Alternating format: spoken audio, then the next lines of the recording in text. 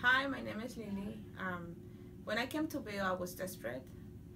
I was upset. I was lonely because of the uh, all the experiences that I have through my childhood. I was hurt.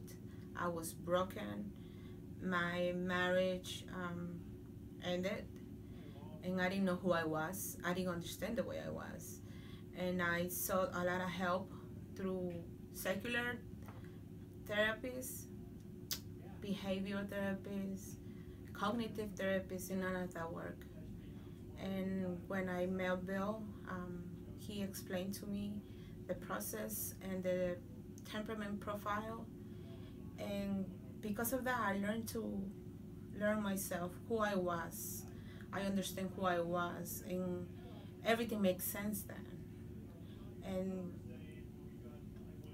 I was able to make the changes knowing knowing knowing now how I was, who I was.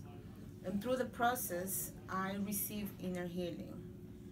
I I was able to to be free and be happy and understand who I was and like the way I was.